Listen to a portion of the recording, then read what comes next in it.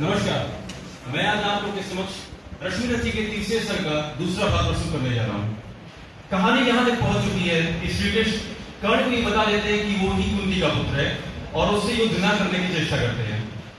तो इस पर कर्ण का जवाब सुनिएगा। सुन सुन कर कर्ण अधीर हुआ। कर्ण एक तनिक गंभीर हुआ। फिर कहा फिर कहा, बड़ी माया है, जो कुछ आपने बताया है। त्रिपण से सुनकर वही कथा मैं भोग उसका मुगलान कथा जब ध्यान चंद्र का करता हूँ, उन्मन या सोचा करता हूँ। कैसी होगी वह मातरान निश्चल से जो शोध काल धाराओं में झलाती है अथवा जीवित अपनाती है सेवकी माँ सच जिसको पालकी उत्तर में जब जिसको जीवन का अंश खिलाती है, अंतर का उदय खिलाती है, आदि फिर उसको छोड़ रही नहीं होगी।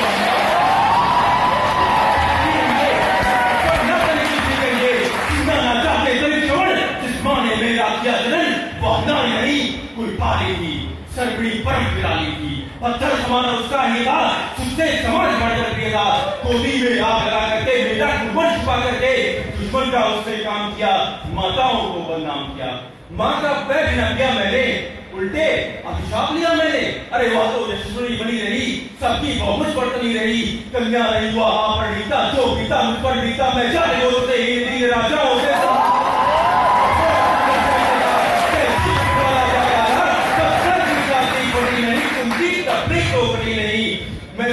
से अपमान अनल में जलता था। सब देख रही थी दृश्य था। माँ की ममता पर हुई प्रथा। अरे छिपकर भी तो मिले न सकी छाया अंचल की दे न सकी पाँच तरह फूली फूली। दिन रात बड़े सुख में बोली। कुंती, अरे कुंती गौरव में चूर रही। मुझ पर एक पुत्र से दूर रही। क्या हुआ? क्या हुआ यह पकुलाती है? किस कारण मुझे बुलाती है? क्या पाँच पुत्र हो जाने पर? सुख के धन गंवाने पर? या महानाश के जाने पर अथवा मन के बताने पर नारियाँ सदै हो जाती हैं पिछड़ों को गले लगाती हैं। कुंती जिस भय से भरी रही, तब मुझे दूर हटखड़ी रही। वह बात अभी भी है मुझमें, वह चाह अभी भी है मुझमें। क्या हुआ कि वह डर जाएगा? कुंती को काटना खाएगा। सहसा क्या हाल विचित्र हुआ? मैं कैसे पुण्य चरित हुआ?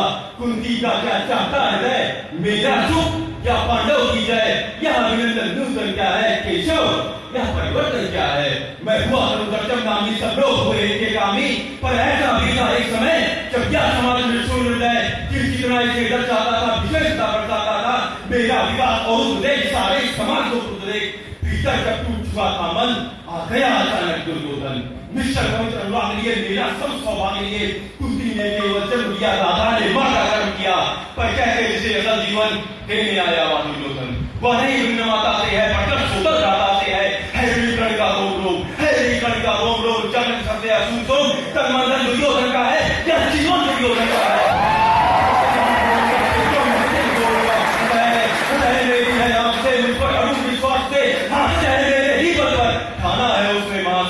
पर मैं कैसा पापी हूँगा दुर्योधन को धोखा दूँगा। वैसा सदा केला खाया सौभाग्य में उससे पाया, अब चक्रवर्ती आने को है खरगोर पहचाने को है तब उसे छोड़ जाऊँगा, कार्य करने कहलाऊँगा। कुंती का मैं भी एक तरह किसको होगा इसका प्रत्यय? संसार मुझे धिकारेगा मन में वह यही विचारेगा फिर गया फिर गया सूरज जब राज मिला, यह कर्ण निकला मैं ही न सहूँगा अर्जुन को भी होगा कनन सब लोग कहेंगे डर कर ही अर्जुन ने अद्भुत नहीं कही। चर्चा निकरण को छोड़ दिया संबंध अनोखा जोड़ लिया। कोई भी नहीं छूटेगा सारा जग मुझ पर